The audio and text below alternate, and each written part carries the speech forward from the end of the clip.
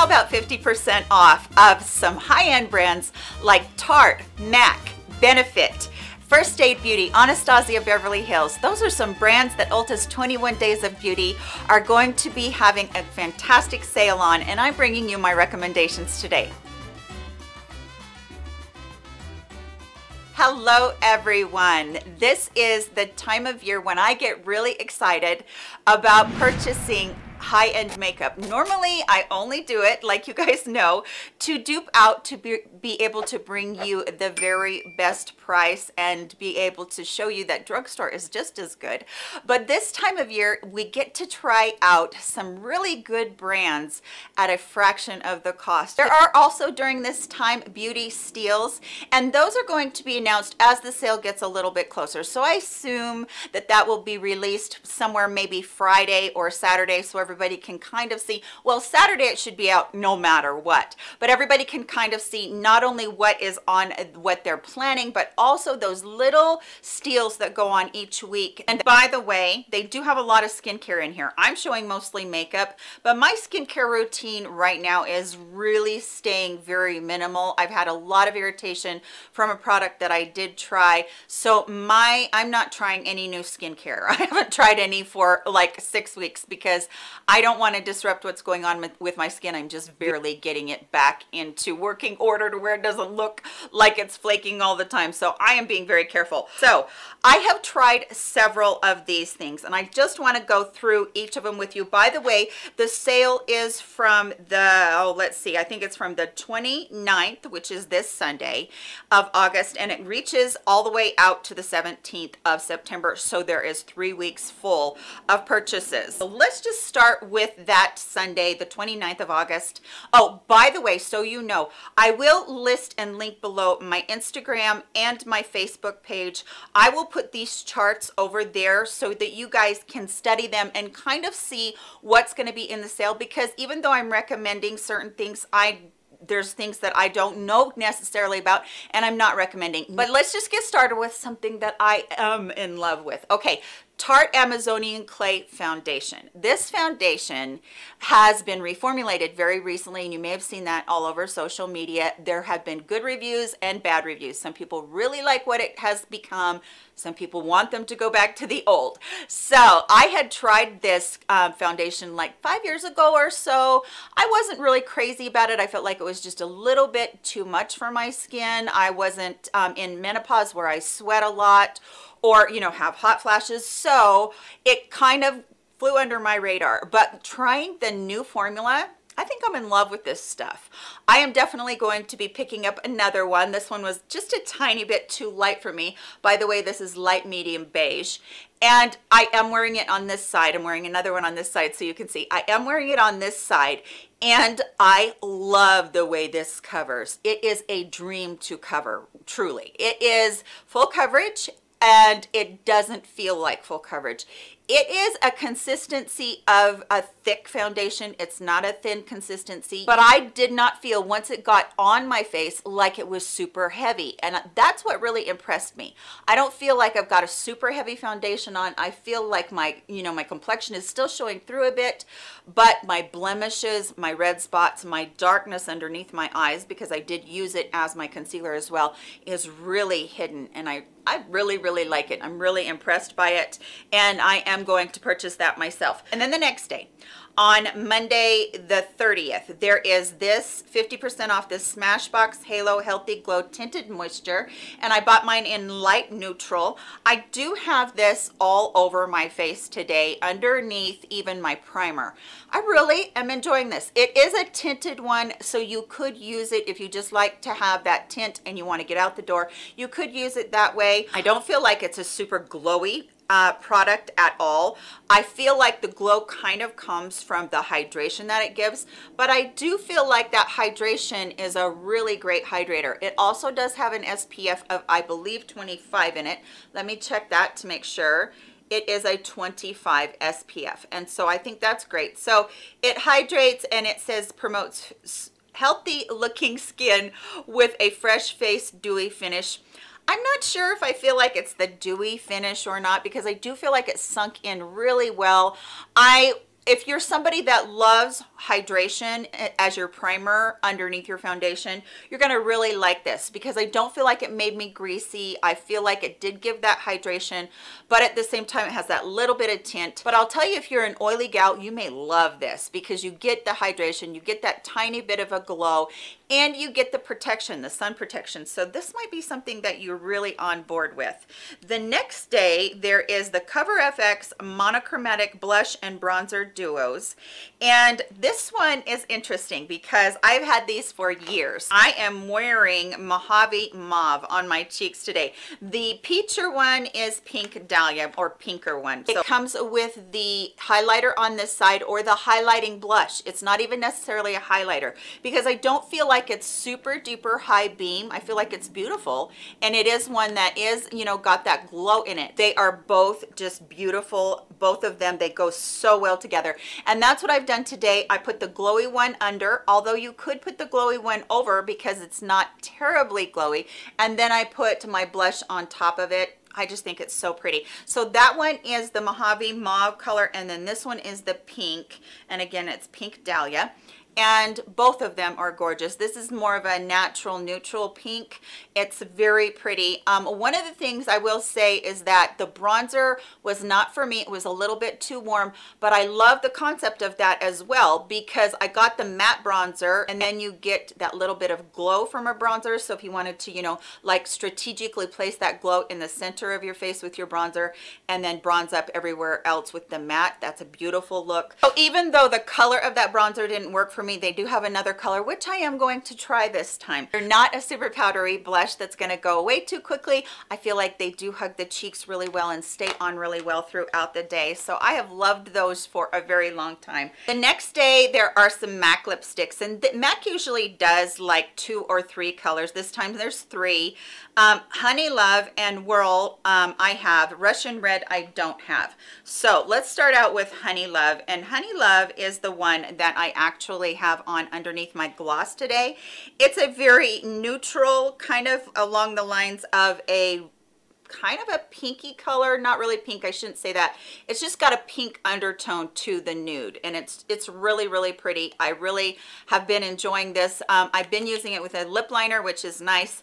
The other one is whirl. This one is a little bit too dark for me but if you're somebody that has darker skin even medium to deep skin i bet this would look absolutely beautiful and fantastic on you. The consistency of mac lipsticks are amazing. I have loved them for as long as I can remember. I would buy them at Nordstrom's and this was my splurge and I love MAC lipsticks. So if you're somebody that likes Russian Red, will you let us know that down in the comment section? Because I've been kind of thinking about for fall to try a little bit of a red. I don't know if I will or not, but it really would be helpful if you would tell us what you think of Russian Red if you're a fan of it. The next day is one of my favorite products. This is on Thursday the 2nd. This is the Monsieur Big Lancome Mascara. I got this immediately when it first came out and loved it. This is actually what I wore in the waterproof formula to my daughter's wedding and it didn't budge. It's got the natural bristles. It also has just an up and down wand. There's no uh, hourglass, no, you know, curve to it at all. I will say that on this mascara, I do find myself kind of wiping it off. That's okay with me because the mascara itself is really good. This mascara will build the definition of your eyelashes and that's what I like about it. I actually tried two in this haul, this Ulta 21 Days of Beauty, and I tried two different mascaras and what I decided is that the two together are fantastic. So when we get to that one, I'll talk about this one a little bit again, but I do love this. I also like it because it stayed on all day without absolutely any smudging. So they do last a very long time both of them, and I do like that one. On Tuesday the 7th, there is a Stila Stay All Day Smudge Stick for 50% off. Now, this I am really, really excited about because I've been using these smudge sticks forever. Right now, I have the one that is a navy color or a blue color, and it is what I have on my bottom lash line and then smudged out, you know, out there in the corner. These are so smooth and they just go on like a dream. Once they set down, they really, truly are there all day long. You can, you know, use them as a tight line if you want to, or you can smudge them out for kind of a look like what I have today, where you just have, you know, a little bit of smudge there. I love wearing blue on my bottom lash line. My eyes are uh, a cross between a dark, dark, dark blue and a tiny bit of green. So blue kind of makes them pop. And this one just stays there all day long and it's so pretty. Now I will say that if I get too much on, I will have too much smudging. But if I just put just a, a line on and then I go in with a smudger brush and really smudge that out, boy, that just looks exactly the same at the end of the day as it does when I put it on. So I'm a fan of those. Okay, skipping on over to Friday the 10th, they do have the Lights Camera Lashes from Tarte. Now this is what I was talking about when I was talking about the two mascaras that are here besides the Lancome Monsieur Big. I really have been enjoying this. This has been my daughter's ride or die uh, mascara for years, but I guess I tried it once and I just wasn't that impressed, so I pushed it to the side. But I'll tell you, I am really impressed with the volume that this particular mascara gives. Again, the wand isn't anything, you know, different out of the ordinary. It is a natural bristle, so it's not the plastic ones. I don't have to wipe this off, but I'll tell you why I love this one is because volume. This gives me such nice, nice volume. So I will go in with this first and then I will top it off with the Monsieur Big one as tipping my the ends of my lashes and getting that length. You can work this into a really nice length, but I find that the Monsieur Big does length and the Tarte does volume when they go together. They're really good. So I want to show you my lashes and what they've done what it's done for those. I just feel like they really defined my lashes made them look much more thick than they already are. And I do have fairly long lashes but it takes the right mascara to really bring that out because my lashes are like really pale blonde so even though they're there you can't really see them I would probably, if I was just going to buy one, I would, I probably would go in for the Monsieur Big. I feel like the Tarte is the one that flakes just a little bit at the very end of the day. I don't notice any flaking, absolutely no smudging from either of these, by the way. I don't notice any flaking until the very, very end of the day, right before I'm ready to take off my mascara. But personally, I'm going to purchase both of these because I like both of them. And the price is gonna be really close to drugstore. So loving both of those. Also on Saturday, September 11th, there is a foundation from IT Cosmetics and it's the Bye Bye Foundation. This is full coverage moisturizer is what it says. I do have this on this side of my face. I did really like the way that this performed. I like the way that it went on. I like the way that it covered. I would say that this is not necessarily full coverage. I think that it can be built up to be full coverage, but I would say that when you first put it on, it's more like a medium coverage until I let it set, put a second coat on, and then I felt like it was medium full. This does have some SPF in it as well. It has an SPF of 50 like the original, and it has um, hydration and anti-aging benefits in it and it says it has 3D skin flex. Now I'm not sure what 3D skin flex is other than maybe what it sounds like like it's supposed to flex with your skin. I don't feel like it broke apart. I felt like it wore really well. I don't feel like it wore as long as the Am Amazonian clay from Tarte but I do feel like I got a good day's wear out of this. I should just show you the consistency on these otherwise you're not going to really be able to see it. So the consistency on this you can see that that is quite thick, but at the same time, it's definitely a liquid. And I will show you that Amazonian clay one right here. This one is thick. As a matter of fact, I will say that this one reminds me almost of like a cream to powder foundation, that type of thing. So if you're somebody that doesn't like the way that that sets down into a matte, you might not like that. So you can almost tell how much thicker it is. Definitely going to give you a mattifying look to your face. So, you know, if you love glowy foundation, that one is not glowy. And I'll tell you something. I would love to mix these two together and see what their consistency is and I probably will do that and bring that to you in another video. But really nice on both of them. I just felt like maybe the it one didn't cover my blemishes as well. So if you're looking for a little bit more natural more light then you really might like that one. Plus all of the good skin loving ingredients and everything that it boasts about the SPF the moisturizer all of that. So this one might be the one that you really like. Now I will tell you really quickly that between the original and this one, I think I like the original one a little bit better. Just an FYI there. Bare Minerals Pro Pressed Foundation I am in love with this. I've had the original, that's the loose formula forever, that I use to go over my foundation at times if I'm going to a special occasion, and it just locks it in, and I've got that on all day, and it really perfects really well. You have the most beautiful smooth canvas, but I had not tried this very before, and I am so impressed with this. This is going to live in my purse, and I am so glad that this is on sale. This one that I have is Cool Beige beige 10 you can see that that's just a tiny bit too dark for me so i'm gonna have to get one that's just a little bit lighter but the way that this wears the way that it lays down on skin on my skin it is gorgeous. And I am wearing it underneath my foundation and I'm wearing it over top of my foundation. It is my setting powder. And you guys know that I have been touting Becca their light shifter powder. I've been talking and talking and talking about how gorgeous that is. This is almost as light. It's a little bit because it is a foundation. I will say that it would probably, you know, go on a little bit heavier if you were to really work in there.